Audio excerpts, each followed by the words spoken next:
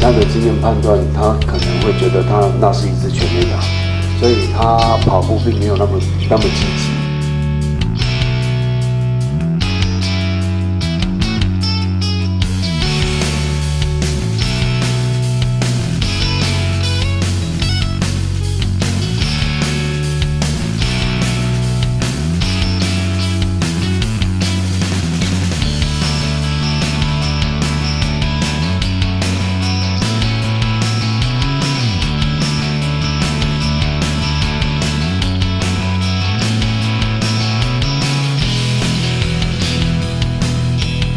那，其实是一垒的跑者是有全力冲刺的。那红鱼他当下打到，以他的经验判断，他可能会觉得他那是一支全力打，所以他跑步并没有那么那么积极。